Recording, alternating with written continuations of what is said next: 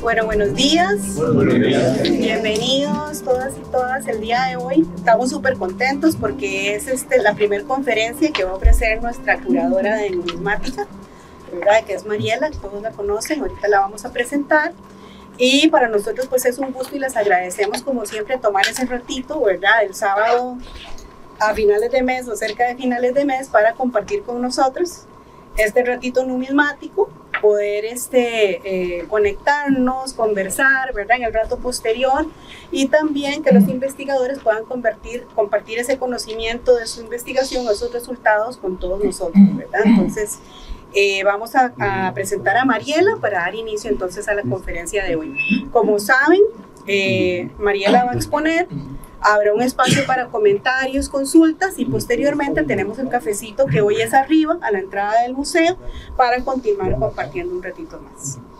Entonces, bueno, voy a presentar a Mariela. Mariela Güero Barrantes es bachiller en Historia por la Universidad de Costa Rica y máster en Historia de la Moda y Conservación Textil por la Universidad de Rhode Island. Trabajó en el museo en la Escuela de Diseño de Rhode Island en el departamento de textiles como conservadora en la parte de colecciones. Ha participado en diferentes proyectos sobre el análisis de cultura material y la materialidad en el Teatro Nacional y el Archivo Nacional de Costa Rica. Inició su carrera en el Museo del Banco Central en 2021 como asistente de colecciones, enfocándose en la conservación y catalogación de la colección numismática. En 2023 hizo la transición al puesto de asistente de curaduría de numismática, adentrándose en el campo de la investigación en esta área y comienza a coordinar el proyecto de renovación del Museo de Numismática. Actualmente asumió la curaduría de numismática de los museos del Banco Central a partir de este año 2024. Entonces, los dejo con Mariela para que dé inicio a la conferencia. Gracias. Bueno, buenos días. a todos y a todas. Muchas gracias por venir. Y bueno, hoy vamos a hablar de eh, tintas y sustratos, análisis material de los billetes de finales del siglo XIX de Costa Rica. Nada más quería hacer la acotación que esta investigación la estoy exponiendo yo, pero es una investigación eh, interdisciplinaria. Entonces, no solo trabajo yo, sino que, bueno, trabaja Manuel Chacón, ex curador de eh, numismática, ahora de la UCR, y también trabajan un físico, Esteban Avendaño, y una química, Mavis Montero, y ellos trabajan en el CICIMA, que es el Centro de Investigación en Ciencias e Ingeniería de Materiales de la UCR. Entonces, es un trabajo un poquito más científico, pero vamos a ver entonces un poquito lo histórico y luego cómo lo conectamos con la ciencia. Entonces, hoy les voy a hablar de, primero les voy a introducir el proyecto, les voy a contar de dónde salió, luego vamos a ver un poquito del análisis histórico de las marcas de seguridad, principalmente en los billetes. Eh, por último, vamos a ver un poquito de los resultados preliminares de los análisis que hemos estado haciendo con los microscopios, con todas estas cosas este, científicas en el laboratorio. Y finalmente quería hablarles un poquito de conservación de billetes. Entonces, empezar diciendo que la colección que bueno, los billetes que vamos a analizar en este estudio eh, son de la colección del Museo del Banco Central. Y el Museo del Banco Central cuenta con muchísimos, bueno, con uno de los acervos más completos de billetes. Y tenemos billetes emitidos de distintas entidades bancarias, desde el gobierno de la República para 1850 hasta la actualidad, básicamente. ¿Qué, qué queremos o de dónde salió este proyecto, o cómo pensamos que era importante analizar tintas y sustratos. Bueno, la fabricación de billetes, empecemos como, ¿qué es la fabricación de billetes?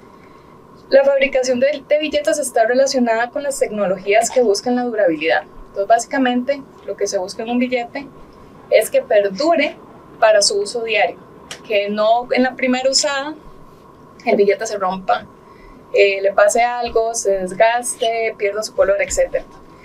Y este, Aparte de la durabilidad, otra cosa que se busca en los billetes desde, inicios, eh, desde el inicio del billete como tal, fueron las medidas de seguridad para evitar la falsificación de ellos. Entonces, que este papel que se utiliza como medio de pago no solo dure, sino que sea verdadero. Y que yo no pueda agarrar y ponerle en un papel algo similar y que también lo puedo usar como medio de pago no siendo legal. Entonces, por ese motivo, este, las primeras emisiones de hechas de papel moneda por los bancos de Costa Rica en general han sido fabricados principalmente en el extranjero, porque en Costa Rica no poseíamos las tecnologías, la maquinaria principalmente, para este, realizar las medidas de seguridad que implica esto. Entonces lo mandamos acá a esas impresoras extranjeras y ellos eh, nos resolvieron la vida en ese sentido, básicamente. Eran más expertos en eso que nosotros. Un asunto importante de los objetos y la conservación y el patrimonio es que los objetos envejecen. La ropa que nos ponemos, los zapatos que usamos, las billeteras que tenemos, los antiguos que usamos, todo envejece. Y esto depende de la tecnología y depende del momento cómo se haga el plástico, cómo se haga el algodón, cómo se procese, pues se va degradando. Y eso pasa con los billetes. Entonces, un billete de finales del siglo XIX, pues perdura a través del tiempo, pero no perdura en las mejores, este, con sus mejores características o con su gran resplandor como cuando era nuevo. El envejecimiento de, de objetos es un proceso natural, así como nosotros envejecemos, también envejecen los objetos. Recordemos también que los billetes en realidad estaban hechos para el momento, no estaban hechos para que los coleccionáramos. Entonces, ¿cómo pensar en hacer que perdure algo que se hizo de manera industrial para que se utilizara en un momento específico de la historia y ciento y tantos años después aquí lo tenemos nosotros tratando, chineándolo para que no le pase nada. Entonces, a partir de estas dos ideas, uno, de entender la fabricación de los billetes y dos, de entender la conservación a través de, de los materiales, fue donde nació esta idea de analizar las tintas y los sustratos, las composiciones materiales principalmente de estos, ¿para qué? Para entender de qué están hechos, y cómo nosotros podemos hacer que perduren de manera menos invasiva o invasiva a través del tiempo. Entonces, como ya les he comentado, el objeto de estudio básicamente es estudiar las características de los sustratos y las tintas para poder aplicar métodos de conservación preventiva.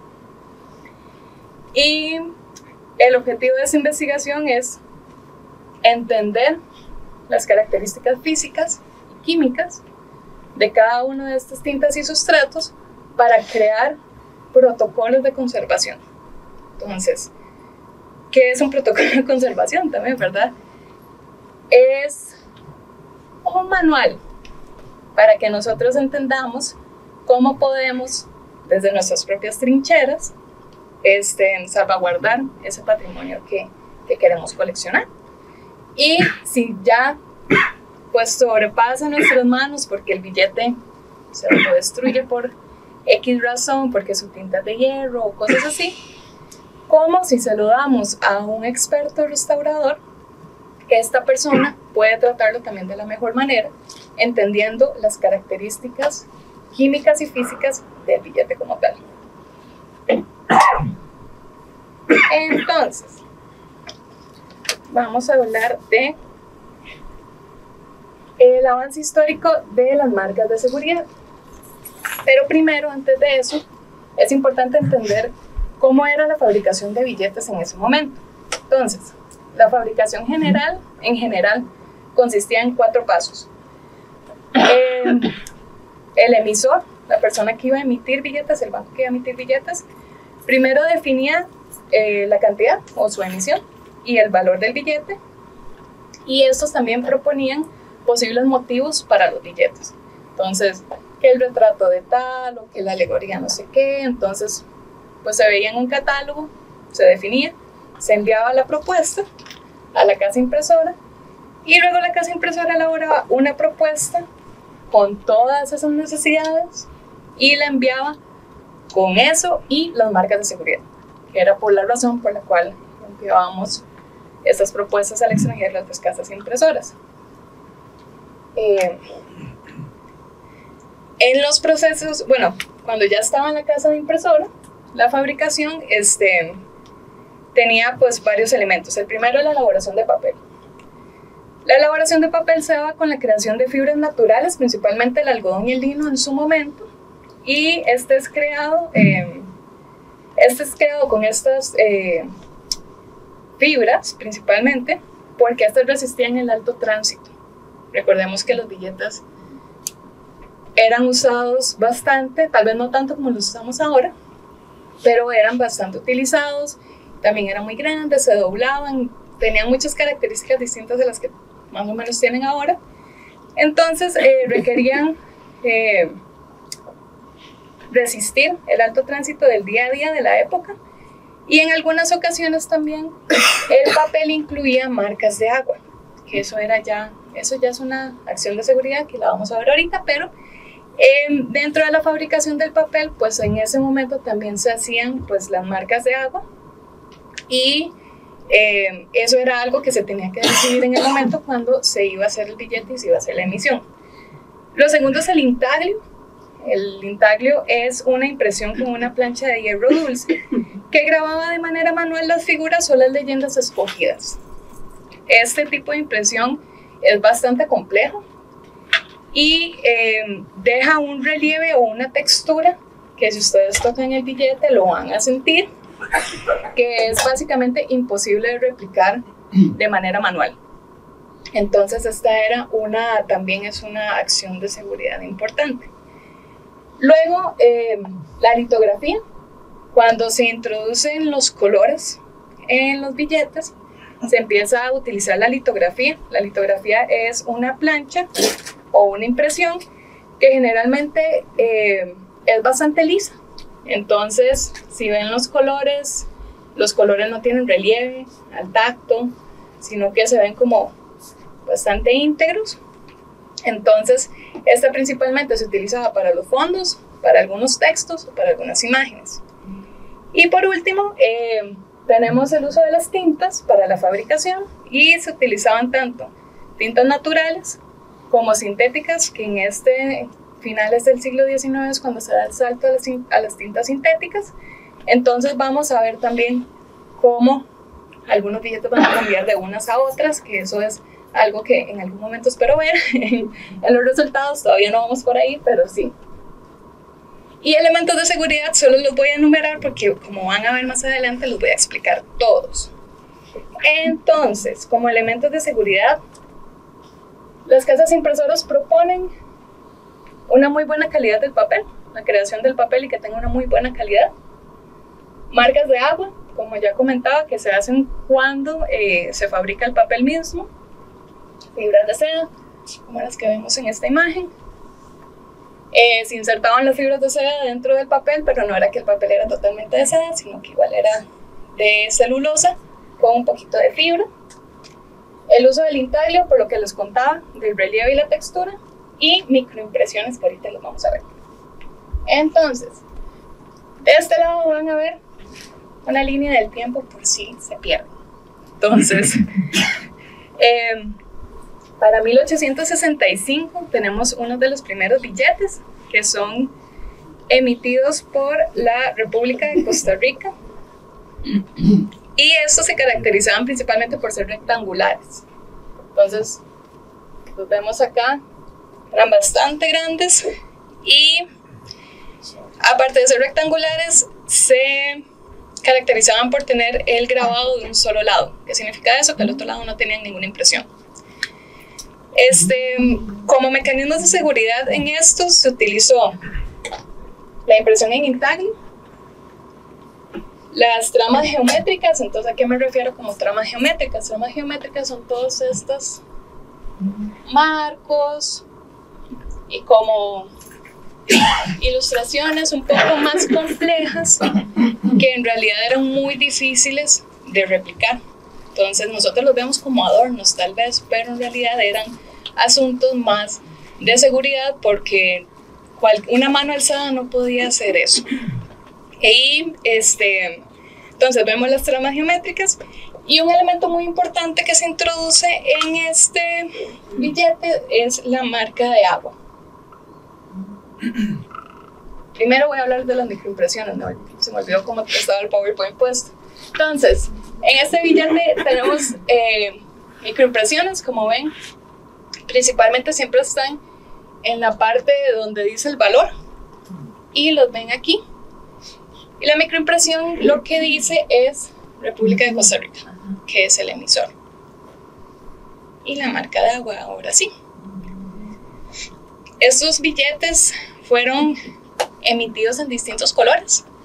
Entonces, es importante recalcar que el sustrato como tal fue teñido con distintos tintes, valga la redundancia. Entonces, esto es una suposición. Este puede ser que sea teñido con índigo de la época. Habría que hacerle las pruebas porque este no lo hemos llevado. Los billetes que voy a mostrar en esa línea del tiempo son casi que todos los de la muestra. Em, pero también tenemos en amarillo y en celeste eh, y en verde. Entonces, esto para 1825. Para 1872, estos son los únicos billetes que no vamos a analizar en el proyecto porque nos estamos enfocando solamente en billetes bancarios. Entonces, para nada más hacer esa acotación, en 1872 empiezan a emitir billetes impresos en ambas caras, que como vimos anteriormente, pues ya es un cambio. Y en este año, el ferrocarril de Costa Rica básicamente fue autorizado por el gobierno para emitir sus propios billetes con el fin de pagarle a los trabajadores y este tenía como respaldo el dinero que provenía de los empréstitos de las obras de la construcción del ferrocarril. Este, entonces, el, el ferrocarril imprime billetes eh, por ambas caras con complejas tramas. Entonces volvemos a lo mismo de las tramas, las cuales podemos ver acá. Podemos ver principalmente alrededor del billete. Y este, eso es todo de, de este billete. Es importante recalcar que las características del sustrato no cambiaban, a pesar de que este fuera impreso por ambas caras, porque uno podría pensar que pues tal vez no aguantan la tinta en, un billete de algodón, pues no aguanta la tinta en ambos lados, pero sí, lo hacía porque el algodón absorbe bastante, pero es bastante resistente, al igual que el lino. Para 1877 se funda el Banco La Unión y en su primera emisión de billetes se vuelve a utilizar la impresión por un solo lado, y, pero se mantiene la impresión en intaglio. Como vemos aquí también, las tramas geométricas se vuelven ya un actor importante en las acciones de seguridad en los billetes. Y este, las, el uso de las microimpresiones igual en la promesa de pago. Entonces, Primero vamos a ver la imagen de Colón. Entonces, como ven acá, no sé si lo sienten. Yo cuando puse esa imagen como que yo la sentía. Como que se siente la textura de la imagen como tal. Esa es la imagen a 8000 micras. Mucho más cerca. Entonces podemos ver el detalle del intaglio como tal en el billete y cómo este funciona no sé, ¿quién, quién no sintió la, quién no sintió la textura? Yo cabezas diciendo que sí. Sí, sí. Y luego entonces vemos de nuevo las microimpresiones en la promesa de pago, las microimpresiones igual. Generalmente lo que decían era el nombre del el banco y el valor del billete como tal. Entonces, Ahí pueden ver un 50, Banco La Unión. Microimpresiones son casi imposibles de hacer a mano alzada, ¿verdad? Entonces, por algo se llaman micro. Entonces, eh, este billete, eh, nada más como para terminar con él, se hizo en Inglaterra por Eden Fisher Company.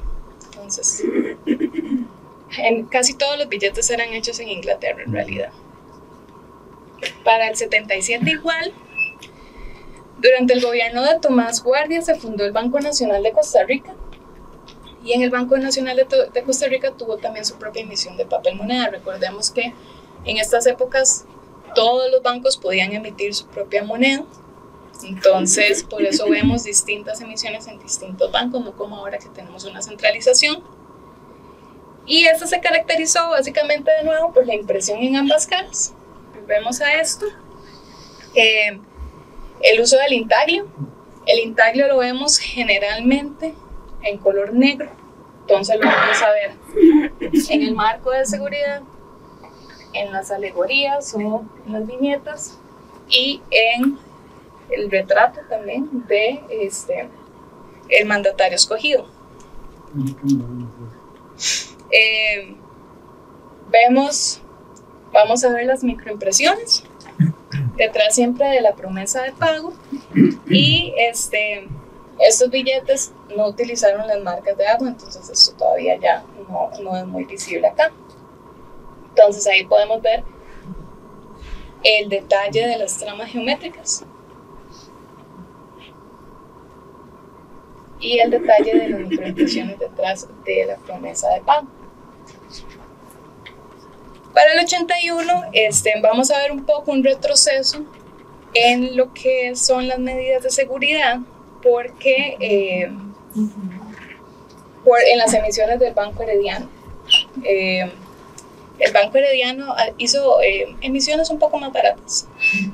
Entonces, este, se enfocaron principalmente en la impresión en litografía, porque también es importante recalcar, bueno, que porque es barato y que es caro, ¿verdad? Para la emisión de billetes. Y aquí Juan José ya dijo que sí. Este, el intaglio, al ser una medida de seguridad, era muy caro para el valor del billete como tal. Entonces, se ve muy bonito, es muy limpio, nos ayuda a darle seguridad al billete, pero también eleva mucho el valor del billete. Entonces, bancos que tenían pues un buen capital podían pagar esa impresión. Bancos que no tenían tan buen capital no podían pagar esa impresión. ¿Cuál era la segunda opción? La litografía. Me voy a devolver un segundo porque los colores de este son litográficos. Generalmente el color es litográfico. Y como decía antes, el intaglio es en negro. Entonces, pues aquí podemos ver que el Banco Nacional pues pagó por ambas. Pero en esta no pagó. No, en este el Banco Herediano no pudo pagar por ambas. ¿Por qué? Porque la litografía, como les comentaba al inicio, es plana, es una plancha plana la cual no hay que procesar tanto como un intaglio, que es una plancha, que, hay que tiene que estar un maestro y hacer pues toda, cada uno de los surcos con los detalles. Entonces, bueno, que es la mano de obra que esto implica. Para... Y fue hecho en Nueva York, entonces ahí es otra cosa. Ya voy a eso, Méndez, espera, espera. Entonces, en el Banco Herediano, pues utilizó la litografía por ambas caras con dos tintas, entonces vemos la, la tinta verde y por encima la tinta negra, que sería en otros billetes lo que replicaría un poco el intaglio, pero en esta no, no se siente, no se siente el relieve, ¿verdad? Eh, era menos seguro, entonces era pues mucho, tal vez un poco más fácil de, de falsificar, pero yo no sé, es, Igual esto es bastante complejo, la, ya en sí el crear la imagen es bastante complejo. Entonces, ¿qué vemos en este billete? Vemos las tramas geométricas, igual, a pesar de que sea litografía, pues igual había cierta complejidad en los diseños como tal. Y y eso es toda la acción de seguridad que tiene este billete sobre los, los diseños como tal. Y pues como comentaba aquí don Eduardo, este billete, a diferencia de casi que todos los demás de la muestra, se hace en American Banknote, que era en Estados Unidos, entonces, bueno, también tecnologías un poco distintas. Entre el 84 y el 85, la República de Costa Rica vuelve a emitir una nueva serie de billetes y esta mantuvo la impresión en intaglio en los grabados, las tramas geométricas en los marcos y los fondos. Entonces me van siguiendo, ahí los van viendo. La impresión por ambas caras se vuelven multicolores, que esto es algo importante. Vamos a ver hasta este billete como tal. Entonces, ya no solo usamos una plancha de un solo color, tanto en el anverso como en el reverso, sino que ahora tenemos dos planchas de dos colores distintos. Recordemos que eso también le sube el costo al, al billete como tal. Este, vamos a ver las microimpresiones detrás de las firmas principalmente. Y este y las microimpresiones por acá en acá, en los sellitos con el valor de el billete. Entonces, vemos las tramas geométricas, los marcos de seguridad con las tramas geométricas, que son los que están marcados aquí en celestito. Entonces, el intaglio igual. Y vemos aquí las microimpresiones en intaglio. Y no traje esa imagen, pero acá tenemos las mismas microimpresiones que estas en las firmas.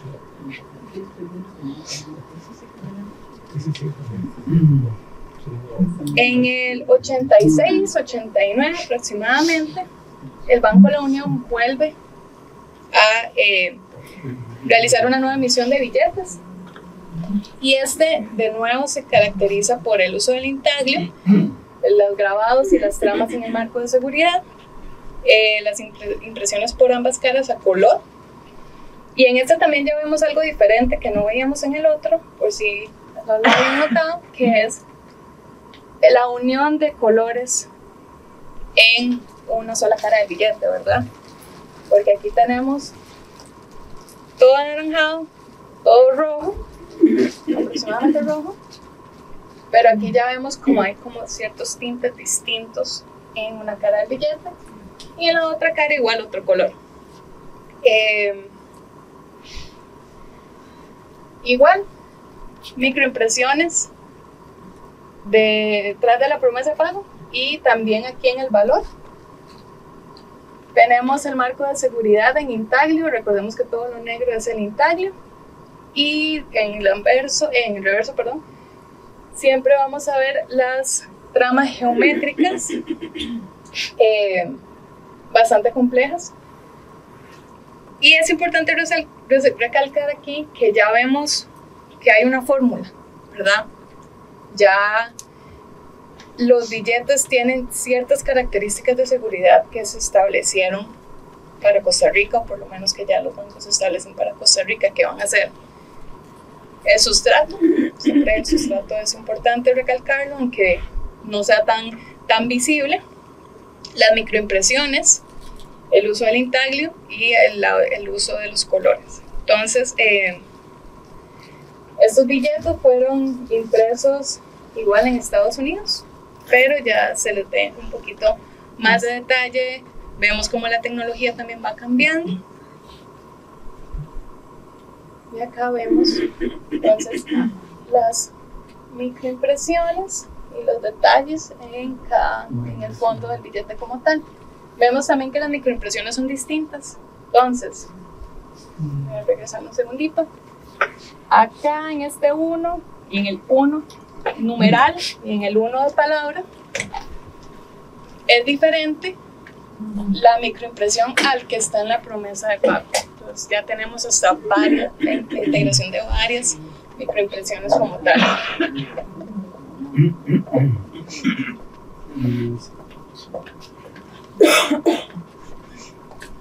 En 1890, el Banco de la Unión cambia su nombre por Banco de Costa Rica, que es el Banco de Costa Rica que conocemos actualmente.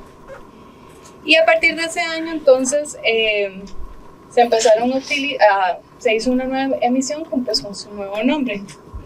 Los, los billetes fueron fabricados en Inglaterra, como pueden ver, en Waterloo and Sons, y pues utilizaron ya los elementos de seguridad que teníamos, que ya vimos, están súper establecidos, impresión en intaglio, litografía y multicolor, las microimpresiones en, en las partes de la promesa de pago, principalmente aquí en las firmas, y también vemos ahora la integración de microimpresiones en esta parte.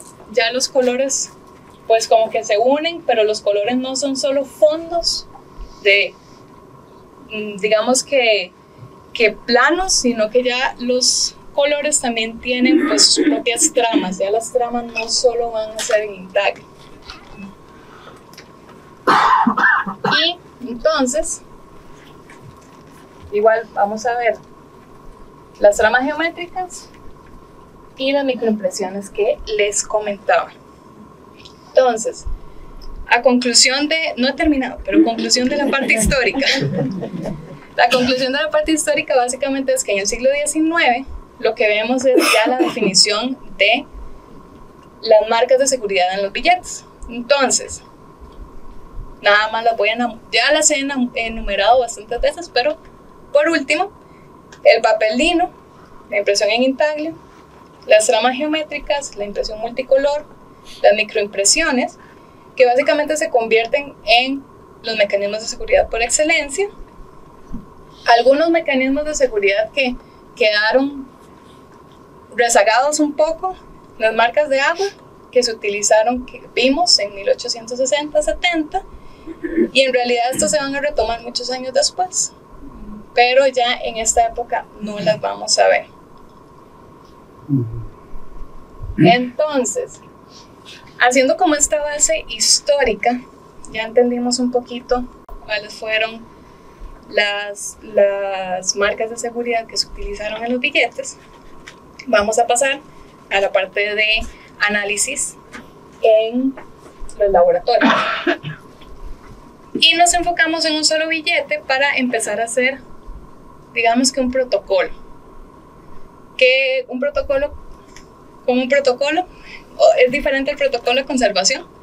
Este protocolo es un protocolo de investigación, el cual nos ayuda a definir cuáles son los análisis que básicamente vale la pena o no hacer en un billete para que los resultados sean adecuados.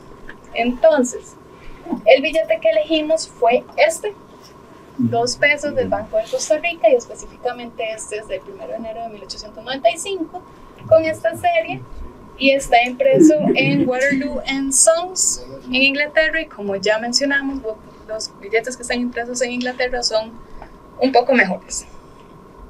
Entonces, em, la excepción de los elementos de seguridad la vemos en este billete.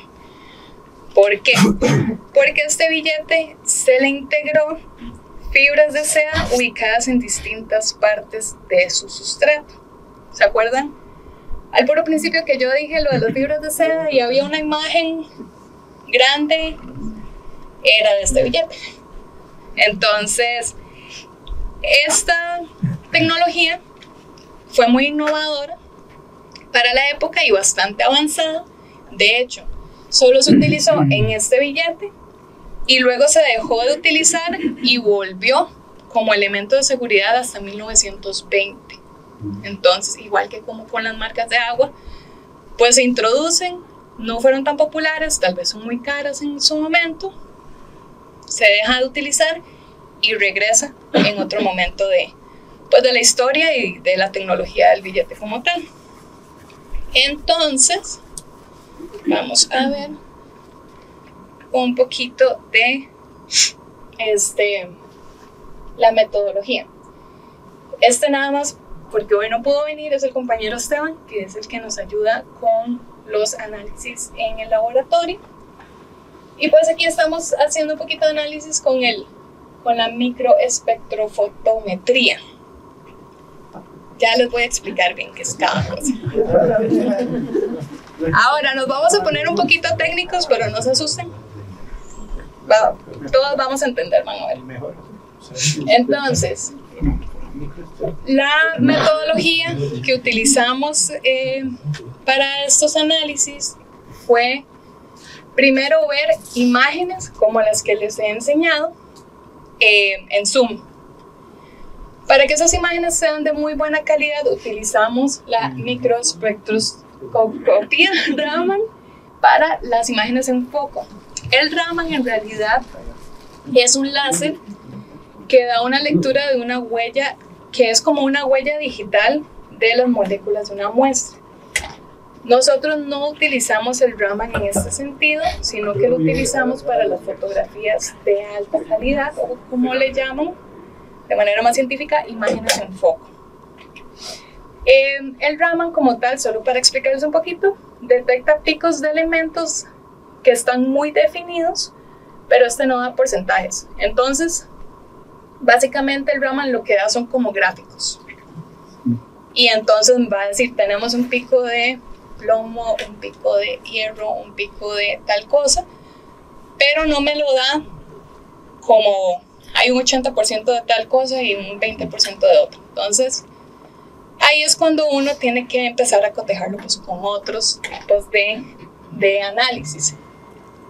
Para eso está la microespectrofotometría, que es lo que más hicimos en realidad y esto lo que hace es analiza y mide la luz en función de la longitud de onda. Ahora, ahora la luz tiene un espectro, ¿verdad? Está el visible, que es lo que todos vemos, está el IR, que es el infrarrojo, y está el UV, que es como lo que tiene el sol, ¿verdad? Lo que los rayos que emite el sol, que es el ultravioleta. Este básicamente lo que hace es medir la luz a través de todas las longitudes de onda y a partir de eso me dice que si el color es más oscuro o no en cierto porcentaje dependiendo de la luz del sol. Entonces, el negro es un color muy oscuro, entonces va a tener una longitud de onda muy baja. Y así va a ir variando con cada uno de los colores, entonces las longitudes de onda van a cambiar. Ya cuando vemos los resultados no va a ser tan técnico, tranquilos. Em, y eso lo que hace es, a través de eso podemos ver la medición de colores, análisis de compuestos, principalmente entender y ver si son orgánicos o inorgánicos. Entonces a través de eso pues ya podemos tener otro tipo de respuestas. Y por último, el TIRF o la espectroscopía infrarroja por transformada de Fourier, que esto lo que hace es identificar la degradación y envejecimiento de las moléculas y también nos da ciertas composiciones materiales. Entonces, como estoy explicando, como pueden ver, cada uno de los análisis pues contrarresta al otro. Entonces nos puede como hacer un control cruzado uno con el otro. Y importante resaltar que, como pueden también ver, todas las, todos los análisis son micro. Micro significa que las muestras que agarramos son súper pequeñitas. Son de básicamente de micras que, que son imperceptibles a la vista. Entonces, con el Raman, vamos a empezar primero con lo que vimos en el Raman. Tenemos este billete y como les comenté, con el Raman no utilizamos el láser, sino que nada más utilizamos las imágenes en foco de alta definición. Primero, nada más queríamos ver cómo era el billete y cómo se componía. Como son solo imágenes, en realidad son análisis pues mucho más intuitivos. Entonces, esto primero es más exploratorio. Entonces agarramos esta primera imagen, esta partecita del billete y le sacamos una imagen en alta definición. Entonces, vemos aquí que se ve bastante diferente, ¿verdad? Billete. Vemos cómo la viñeta tiene por debajo las marcas de seguridad, por ejemplo. Entonces ahí ya podemos empezar a más o menos valorar cómo fue su proceso de fabricación, qué se imprimió primero en el papel, ¿verdad?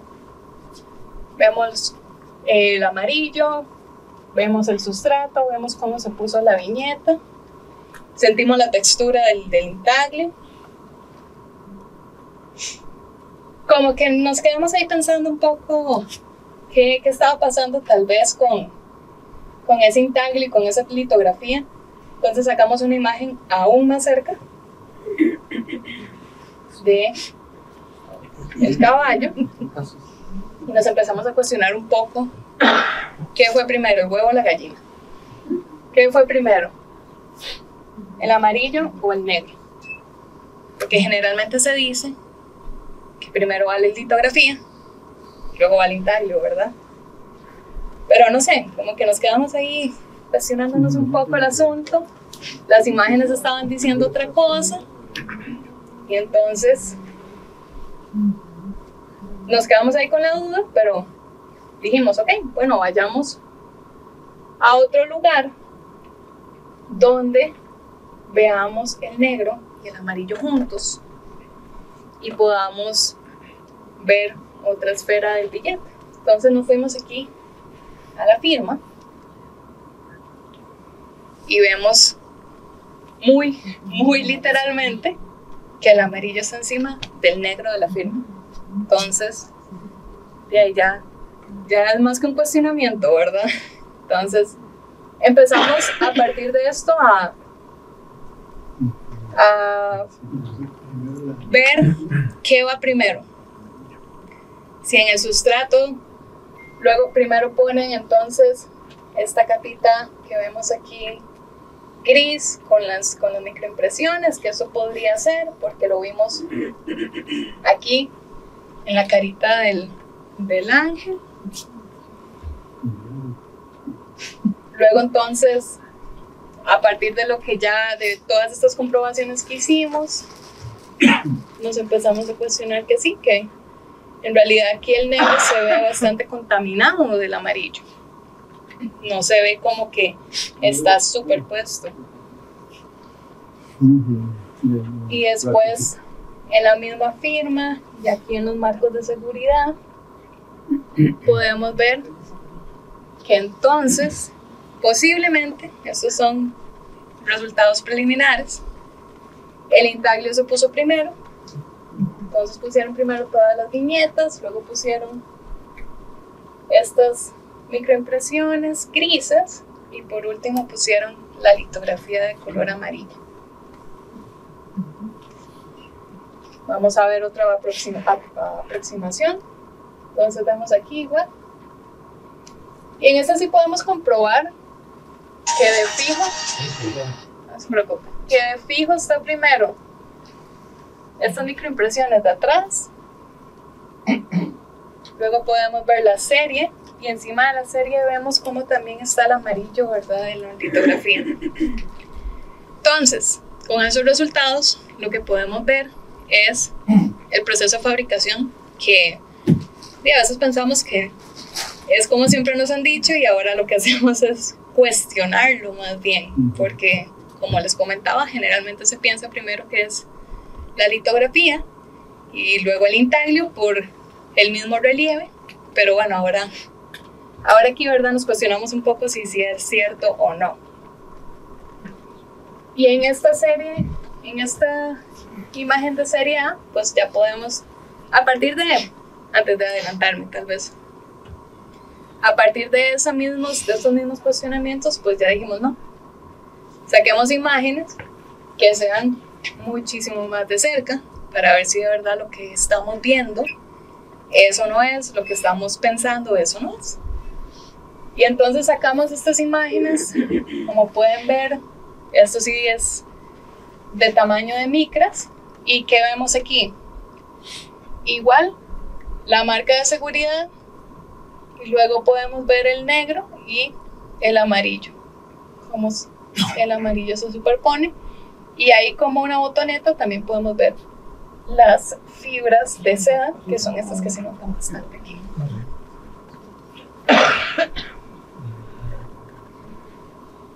De esas imágenes, estas no quedamos convidados, sacamos como 30 de ellas porque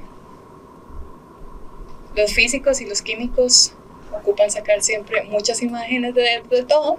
Entonces, les voy a mostrar unas cuantas, pero hicimos una muestra como de 30 imágenes. Entonces, vamos a ver aquí en el número, como si se ve. Entonces, la microimpresión y vemos la O encima, es así, es, entonces igual vamos comprobando eh, ese tipo o, las, las capas de la fabricación y vamos a ver ahí el marco de la alegoría. De nuevo vemos el marco, vemos como los rostros amarillos, pero aquí también cómo se contamina el negro con el amarillo. Y acá, ahí está. Igual aquí en uno de los marquitos donde hay varias, donde están las microimpresiones grises, tenemos el intaglio y tenemos el amarillo. Igual, podemos ver acá como el amarillo se superpone sobre el intaglio. Entonces, bueno, no es una conclusión, pero sí es una aproximación de eh, el proceso de fabricación y de cómo pues esos análisis nos ayudan también a entender los billetes pues desde otras esferas, de unas esferas que tal vez nosotros con una lupa pues cuesta un poquito más verlo y definitivamente con ningún equipo que no sea tan profesional como esos pues no podemos llegarle a ese tipo de, de imágenes. El reverso y pues el reverso en realidad es bastante plano porque no tenemos otras tintas, pero sí les traje una imagen en foco que se ve muy bonita. A mí me gustó bastante. Entonces podemos ver los detalles de los dos barquitos, principalmente el de atrás que casi nunca se ve y tiene todos los veleros y todo. Entonces, bueno, igual de nuevo se siente mucho el intaglio, se siente el color esto que, descubrimos, este, pues lo tenía, teníamos que hacer un control cruzado con algo, ¿verdad? Porque no, el, sentimiento de, o el eureka del investigador siempre tiene que, que, contrarrestarse con otro, con otro, con otro análisis. Entonces hicimos la espectrofotometría y como les mencioné, la espectrofotometría lo que va a medir es la luz en cada punto de tinta. Lo que pretendíamos en esta es ver los diferentes negros y ver si los negros tenían amarillo. Porque ya para ver si de verdad lo que estábamos viendo es cierto y si con los análisis este, nos daba esta mezcla de negro. Entonces, bueno, de nuevo analizamos todos estos puntos que ven ahí. Y lo que resultó, este, el, el, el resultado de estos es que las tintas del marco de seguridad y las dos viñetas fueron impresas por Intaglio, que se hicieron de manera simultánea con el mismo tipo de tinta entonces, el marco de seguridad y las viñetas van a ser las mismas. Los números y las firmas se colocaron en otra etapa. Y este, las tintas del marco y las viñetas, este, aunque se ven del mismo negro, es más una percepción visual del negro como tal pero no necesariamente de la composición de la tinta. Entonces, eso fue lo, el, el resultado que arrojó la espectrofotometría. Y atrás, nada más para eh, hacer todo el, todos los resultados, eh, analizamos pues la tinta verde. Llegamos a la última parte, que es el TIRF o este, lo que les decía que el TIR lo que hace es analizar la composición, ¿verdad? Entonces, ¿qué significan estos gráficos? Porque yo sé que es complejo. Este gráfico vemos los diferentes negros y el papel. Entonces, ¿qué hicimos? Primero medir la señal del papel. Entonces el papel nos da celulosa, cierto sustrato, etc. Y esta señal lo que vamos a hacer es restársela a los negros, porque la señal del negro siempre va a tener la señal del papel, porque ese pues es su base. Entonces tenemos el negro del marco, el negro de, de una firma y el negro de la otra firma, siendo dos firmas las que tienen. Entonces, como pueden ver, aquí, de aquí para abajo, todas las señales son diferentes. ¿Verdad? Son diferentes. No me digan que iguales. Ve que aquí esto tiene un pico distinto a este pico y este pico es diferente. Eso significa que el negro que me da el resultado de, de, la exposición a la luz es cada uno de ellos es distinto. Y como vemos acá, la firma de Andrés Coronado y la firma de Peralta también tienen pues señales distintas. Aquí esto es una comprobación pues ya de esto. Y lo que vemos es que ambas tintas fueron puestas en un momento distinto del proceso. ¿Sí? ¿Todo el mundo quedó entendido? Ya casi llegamos a las preguntas. Y por último, bueno, esos fueron los resultados. Eso fue lo que analizamos, lo que vimos. Eh, esperamos tener tiempo de terminar todos los otros nueve billetes que nos faltan para pues ya poder hacer también una comparación entre ellos mismos y poder hacer pues más análisis. Ahora, eh, recordemos que este proyecto empezó por la conservación de billetes por entender cómo conservar el billete, porque yo sé que eso es muy interesante, a mí me interesa un montón el material, la composición, la materialidad como tal, pero cómo conservamos la materialidad, ¿verdad? Qué importante es, más ustedes, todos los que son coleccionistas de, de billetes principalmente. Entonces, tal vez hacemos un pequeño paso primero de cuáles son los posibles daños que puede tener un billete, químicos, Fotoxidación, que es la oxidación principalmente por la luz solar. La reacción de los materiales, y algunos materiales se autodestruyen, como las firmas de hierro. hay muchas firmas de hierro que se autodestruyen por su composición de hierro como tal. La reacción de las tintas, que es lo mismo que estoy diciendo, y la grasa, siendo la grasa nosotros mismos. La manipulación que le damos nosotros a los billetes y nuestra propia grasa pues de la piel.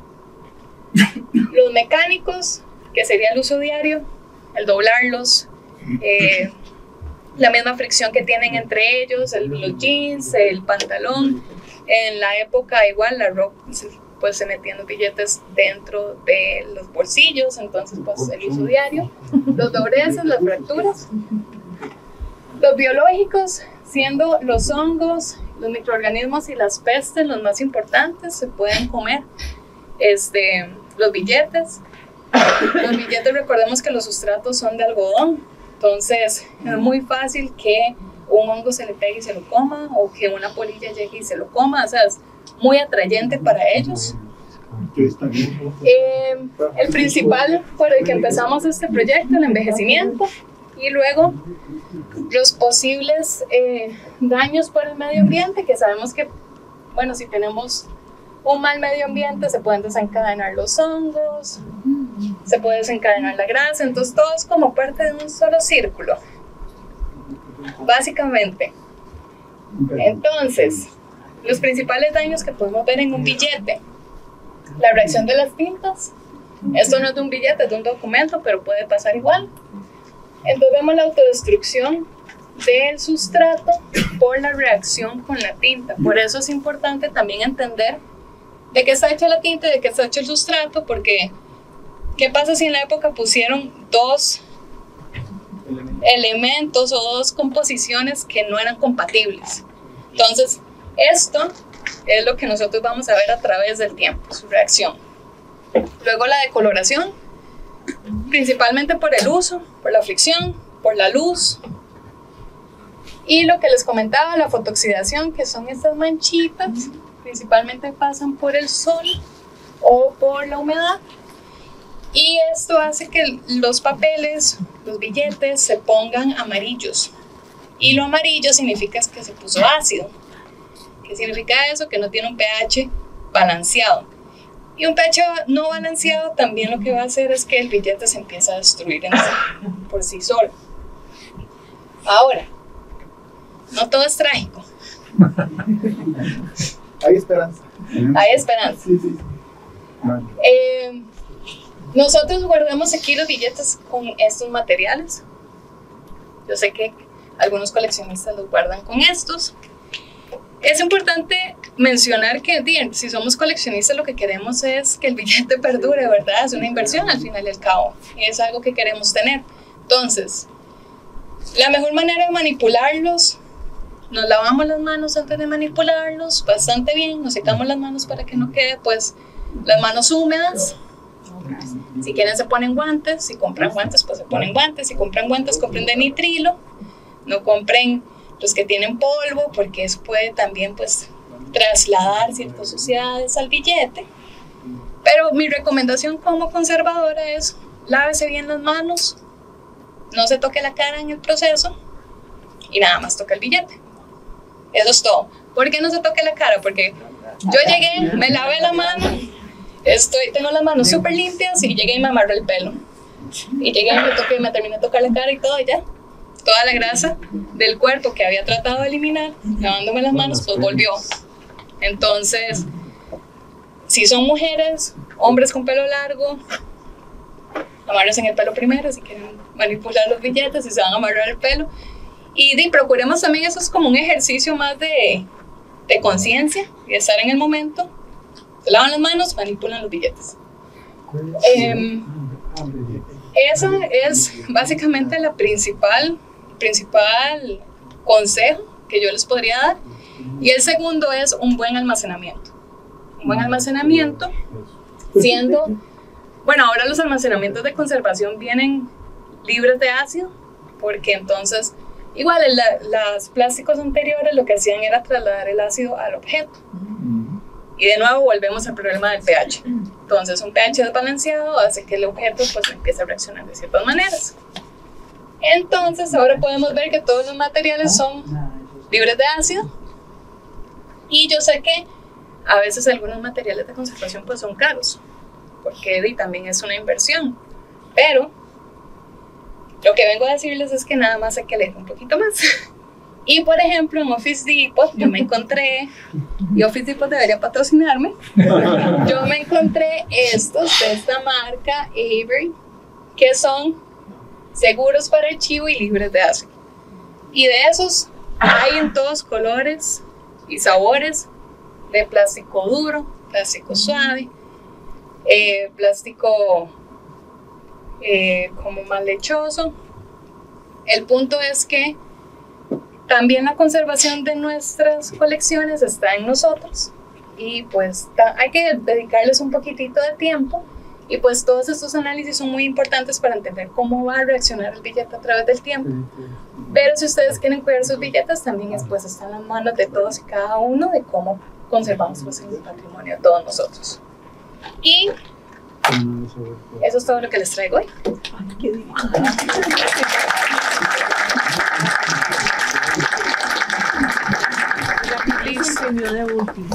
Y les presento a mi gatita. Bueno, Pati, nos hay un montón de preguntas. Ok, veo, sí. Sí, no, pero estamos súper de tiempo, Mari, en realidad. Sí. Yo creo que contestemos unas cuantas, ahí nos vamos midiendo y luego pasamos al café y entonces ahí pues van a tener también a Mariana, ¿verdad? Para continuar. Nada más una pregunta. Si nosotros tenemos, porque yo soy la que acomodo todo eso, y billetes y todo, pues tenemos, teníamos álbumes con esas hojas que comprábamos antes, entonces están en, en, peligro de deshacerse también, porque depende de donde los tengamos guardados. Pues no en super peligro, no es como que un peligro inminente de que se van a deshacer mañana, no. Pero eventualmente si ustedes quisieran mejorar su almacenamiento, pues podrían empezar poco a poco a cambiarlos a este tipo de hojitas. Esas hojas son hojas de, de, de plástico para meter De papel. ampo, sí, ¿eh? De ampo, exactamente. Pero, pero tienen la forma del billete. No, señora, eso sí, eso se, se lo quedamos debiendo porque de- como son de, de generales, pues no tienen la forma del billete como tal. Ahora, en esta marca sí tienen de- con la forma del billete.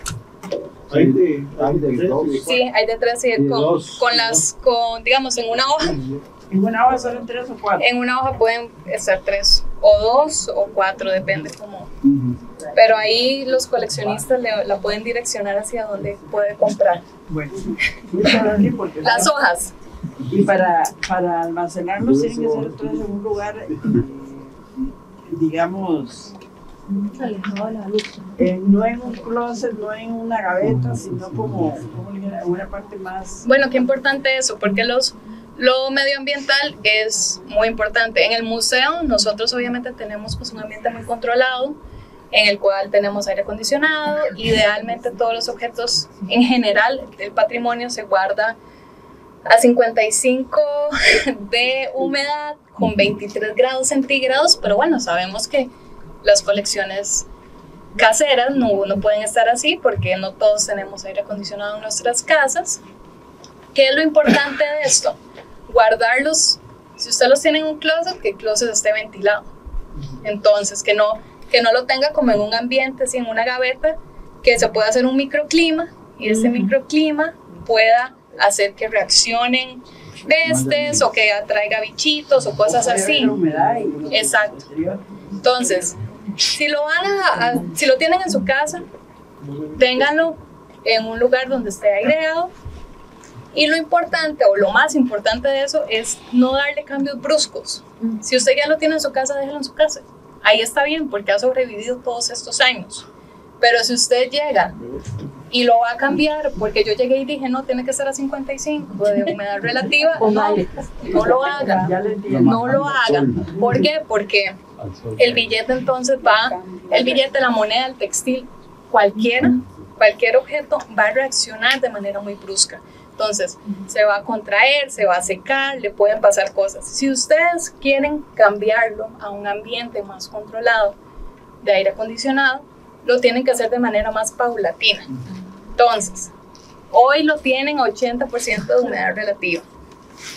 Dentro de dos semanas lo pasan a 75 y así sucesivamente hasta que llegue a los grados que ustedes lo van a poner, si lo van a poner en, en un banco o en su casa que ahora tienen aire acondicionado. ¿Por qué? Porque el objeto también sufre, es como nosotros. Si usted no se pone bloqueador solar o no se pone crema cuando va a la playa, se quema y, y se reseca su piel. Es exactamente lo mismo. Entonces, si lo quieren poner en un ambiente controlado, lo tienen que hacer de manera paulatina. Porque está en su casa no significa que está mal.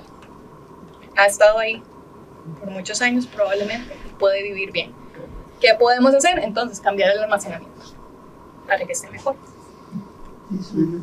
Vamos a ver, por aquí había alguna otra. Caliche no es la misma que. No, no, no, no. No, únicamente, Para confirmar. como herediano que soy, eh, relativamente, eh, ¿quién respondía? Porque el billete, pareciera que el billete de, de- de Banco Herediano eh, lo firmaban en el momento que lo, que lo daban. Ujú. y, y, y quién respondía que esa firma fuera a que, a que tener billete quién, quién respondía que, ese, que, esa, que esa firma fuera la verdadera del presidente quién sabe quién? El, ¿Quién- el quién- banco, en el Ah, momento. En el pero, momento sí, el banco pero si usted iba al, al banco el banco le pagaba con ese billete y el presidente y el, el secretario fuera que firmaban el billete porque el billete está sin firma y sin fecha usted le da ese billete y usted iba a, a un comercio y le dijera, ah, no, es que esta me parece que no es la del presidente.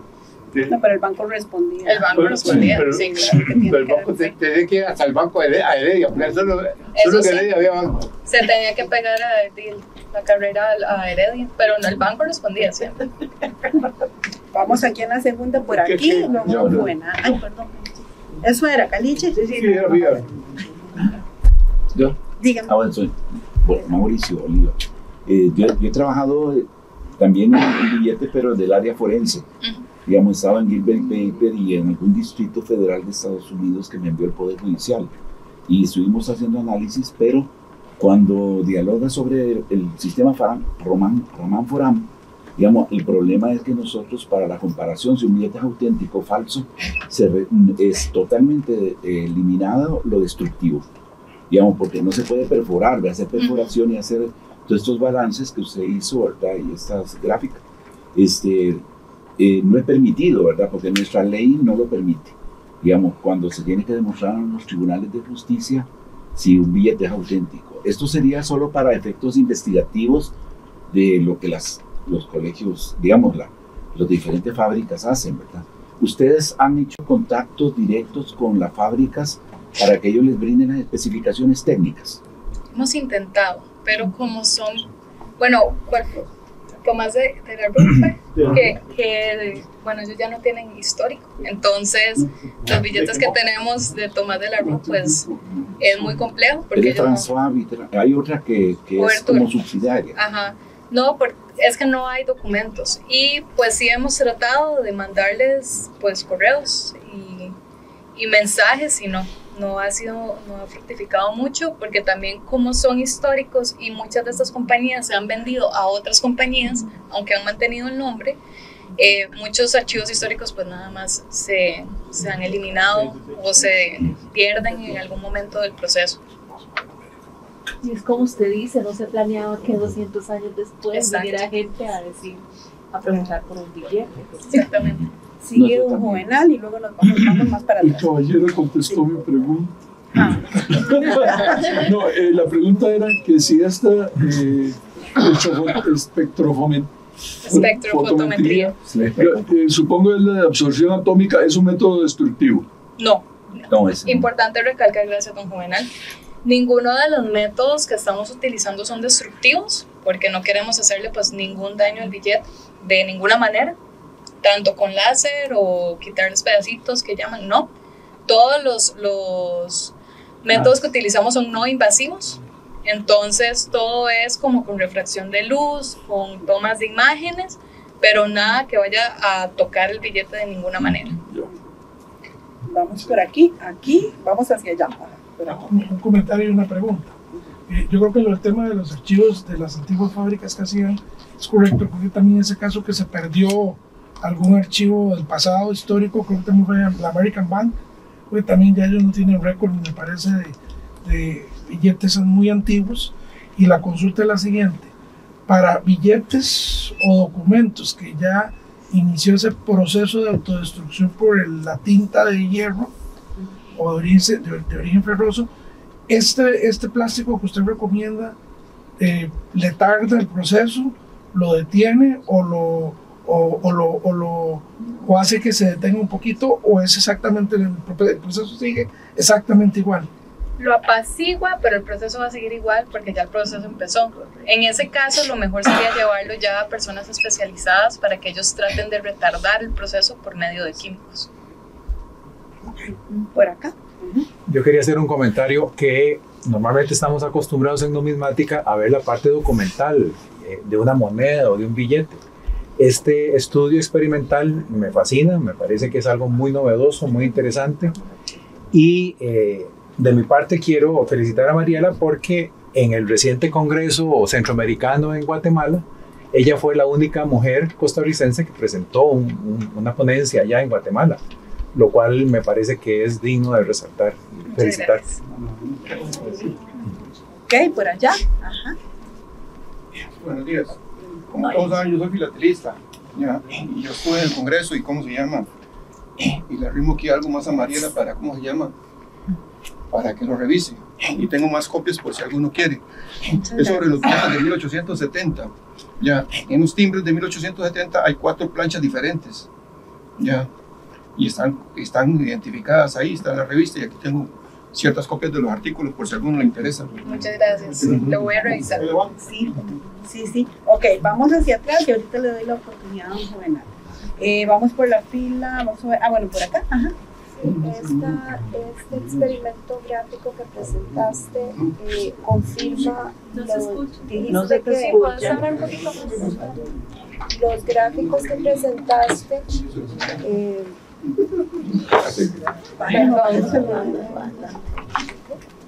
eh, los gráficos que presentaste dicen que confirman que fueron intervenidos en distintos momentos, confirman eh, en qué orden. ¿Intervenidos en qué sentido? Las, las tintas, las, los órdenes de las tintas, de la, litografía. que no intervenidos, la, no la palabra, que si eh, los análisis, pregunta que si los análisis que vimos de las imágenes confirman que si los billetes fueron intervenidos en distintos eh, momentos, es la pregunta. Bueno, estableciste que hay distintos momentos, distintos momentos de qué? De firma.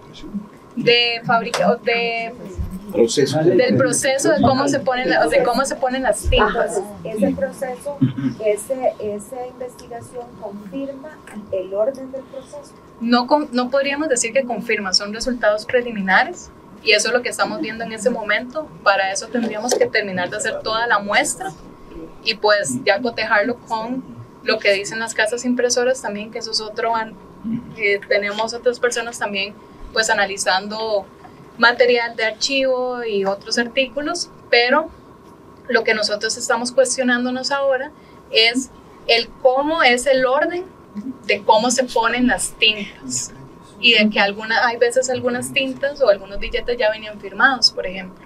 Entonces, si, si la firma se pone primero, si el color va de segundo, eso es lo que estamos, este, pues, determinando o trayendo a luz como un posible resultado preliminar. Aquí a la par. Sí, eh, mi pregunta, buenas tardes, casi. Este, mi nombre es Carmen María. El asunto es en, el, la, en los logos o digamos las figuras que tiene cada eh, billete, es de acuerdo a la época y las figuras que son anexas, digamos la, la mujer que estaba en una de los billetes. Es que, digamos, yo sé que últimamente entre esas está un familiar mío que es doña Emma Gamboa, entonces yo sé que es porque es un, alguien representativo e importante en un momento histórico, pero en los anteriores cómo era que se elegían o cómo, cómo se estructuraban todos esos eh, anexos a, a, a, formar el, la, el billete que iba a salir en ese momento. Como lo comenté como al principio, eh, parte de cuando se, se empieza a hacer un billete es que el banco más o menos hace una propuesta. Esas propuestas generalmente eh, varían mucho, pero por ejemplo hay unos que tienen retratos, como usted dice, pues entonces envía el retrato.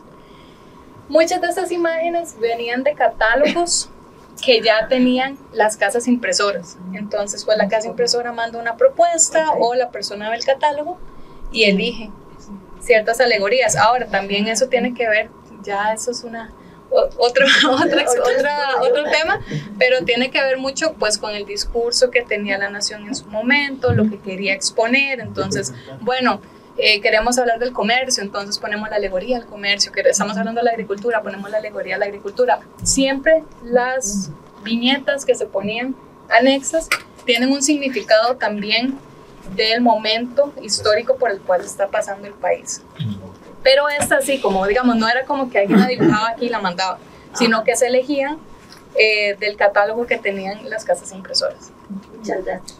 Ok, vamos a ver por atrás, por acá y luego don Jorge. Muchas gracias. Eh, usted inició la charla hablando de que en estos años se reproducían o se mandaban a fabricar los billetes afuera porque no teníamos la tecnología. Puede ser muy concreto. En este momento, este, es una opinión de parte suya eh, como parte del equipo que está haciendo este estudio. Luego de que se termine todo este estudio, porque es bastante amplio y todo el asunto, ¿usted cree que, se, que teniendo todos esos parámetros que ustedes están analizando, se dé la posibilidad de hacer reproducciones exactas, como está pasando en este momento con el escáner de 3D y las impresiones de 3D, como las monedas, que ya hay reproducciones idénticas, no, no, no, no el jaguar que anda por ahí dando vueltas ahí, que es de mentira, sino hay reproducciones idénticas. Con este estudio se llegará a obtener, porque ya en este momento sí existe la tecnología para hacerlo. Ese no es el fin del No, estudio no, no, como no es- tal. ajá. Este, nosotros no estamos sacando las imágenes en alta definición para eso, ni tampoco las compartiríamos para eso, porque y verdaderamente no, no queremos pues causar ninguna ningún revuelo en ese sentido. Entonces creo que, que la es más para fines educativos e investigativos que para reproducciones. En realidad no estamos pensando en reproducciones. No, estamos de acuerdo. Yo sé que desde el punto de vista ético, desde el punto de vista moral, eso no es correcto, ¿verdad? Pero sí, este, dentro de este estudio, pues daría un acercamiento a poder reproducir hoy lo que se hizo hace 200 años atrás. Sería muy difícil, muy sinceramente, por la materialidad como tal, que usted puede conseguir. No, no voy a decir nada. Es muy difícil. Sería muy difícil. Sería muy difícil por, por todo. Por todo. O sea, piense, piense también en las tintas. Ya eh, no podemos conseguir el mismo hierro con el que se hacía la tinta. Entonces, si alguien pues tiene la malicia de hacer esto, en realidad por medio de estos mismos análisis podríamos decir que es un falso, porque en comparación ya no, ten- ya no podríamos compararlo. Bueno, por acá. Gracias. Eh, vos recomendabas el, el uso de guantes de nitrilo para, para el manejo de billetes. Eh, bueno, hay, hay cerca de 8 materiales o 9 que se hacen los guantes de hule.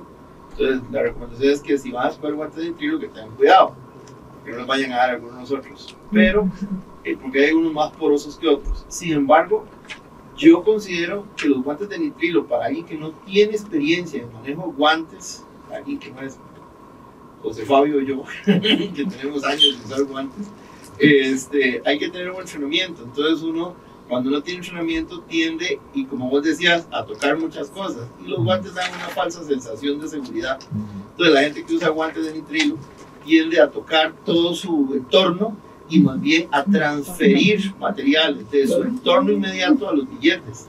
Entonces, nosotros generalmente en la numismática lo que recomendamos son guantes de algodón, porque los guantes de algodón no necesitan tanto entrenamiento y son absorbentes. Entonces, si usted eh, es más difícil transferir con un guante de algodón que con un guante de hule, porque el guante de algodón tiende a absorber, entonces usted puede manejar billetes sin, sin transferirle tantas cosas.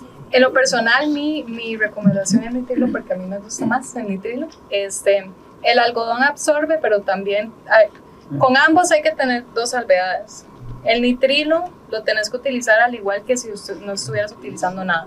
Lo mismo que yo dije, se va a tocar el pelo, se lo toca antes. Se va a tocar la cara, se la toca antes. Igual que con los guantes. O sea, usted se pone los guantes y no toca nada, solo toca el billete y solo toca eh, pues la, donde lo va a guardar. Me pican la cara. ¿Qué es el asunto con el algodón? Sí, el algodón ab- absorbe, pero hay que tener una limpieza muy importante con el algodón, ¿verdad? Cada vez que lo usan, eh, porque también hay una falsa sensación de que porque me absorbió todo bien. No, cada vez que los uso los lavo, porque también eso de- puede transferir muchas cosas que, está bien, no estás tocando nada más, pero lo utilizaste hoy, mañana y pasado. Entonces ahí ya, ¿cuánto me absorbió, verdad? Igual con los guantes de nitrilo habría que descartarlos. El otro problema de los guantes de hule es que si usted no está adaptado, la mano le tiende a sudar y el manejo de los guantes de nitrilo tiende a ser, eh, se tienden a romper sin que uno se dé cuenta. Entonces podrías transferir sudor al, al material que estás manipulando si no estás Ok, yo creo que las dos últimas que tenemos aquí, don, don José Vargas y don Juvenal, Mari, y ya con eso Y vamos a don- explicar y sobre don lo que- Eduardo, Ah, bueno, don Eduardo, perdón, don Eduardo. sí. Ya. Este, bueno, agra- eh, agradecerte toda la información que nos estás dando a los que nos gustan los billetes y eh, creo que el, el tema de la, digamos, de dónde los tiene uno siempre ha sido un- una situación de tanto de las carpetas como de, de la humedad. Eh, el asunto es que eh, hay veces uno no tiene todas las condiciones para eso. Y eh, aún, yo lo he visto, que aún teniendo billetes de- y digamos, de, la misma eh, denominación y valor iguales, en el mismo estado uno reacciona y otro no reacciona. Entonces, este, es un tema que de la temperatura me queda un poquillo, digamos, en cuestión de la conservación, que esos dos billetes que, que estoy hablando, eh, idénticos del mismo estado, todo igual, y uno reaccionó eh, y se me puso amarillo y otro como que no. Entonces, este, yo esperaría que el banco aquí haga un, bóvedas para, para traerlos aquí. Un, Caja de seguridad. Sí. Sí, eso sí, eso pasa y es muy normal porque a veces también, aunque uno cree que están en el mismo estado, no lo están. ¿Verdad? Por dentro no sabemos qué pasó. Y el otro eh, que me imagino que pudieron estar juntos y eh, al Contaminarse entre sí, ellos. al separarse no sé si hay que pasar.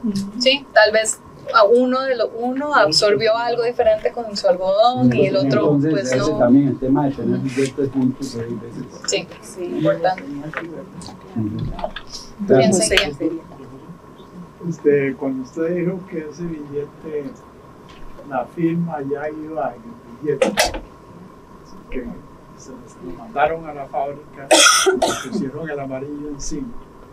Entonces me surge la pregunta, ¿qué hace que eso sea un billete? O sea, ¿qué le pusieron de último? Entonces yo, la firma ya no, porque se lo mandaron a la fábrica. Este sí. Entonces yo investigaría si la serie o si la fecha fueron lo último que le pusieron. Porque eso fue lo que lo convirtió en. Claro. Ahora nosotros todos creíamos que eh, lo último era firmar un billete, ¿verdad? Pero parece que no. Entonces siguen, siguen con esa costumbre. Yo creo que no, pero tal vez en este caso eh, investigar la tinta de la, la serie Los cereales, sí. y en la fecha.